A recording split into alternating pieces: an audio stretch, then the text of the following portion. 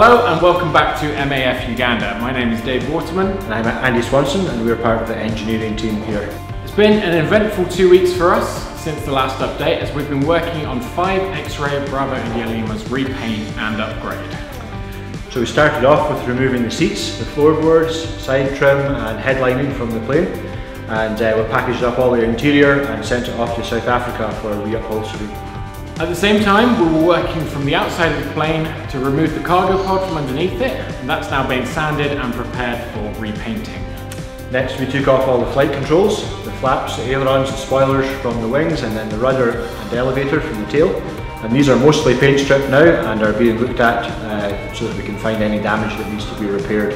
We then started work on removing the old avionics from the instrument panel and the aft avionics bay of the aircraft in preparation for removing the paint from the fuselage. Then things got serious. We uh, removed the vertical and horizontal stabiliser from the tail of the plane, uh, ready for painting. And then one day, we were looking at the aircraft and thinking how best to go about painting the fuselage and the wings. And we decided to go the whole distance. Uh, we've also taken the wings off from the aircraft.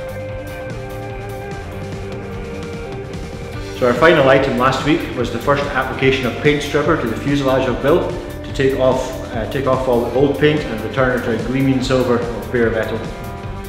And that brings you up to date with where we are. Our next stages are continuing to remove the old paint in preparation for repainting. We'll also now start working in earnest on the avionics upgrade.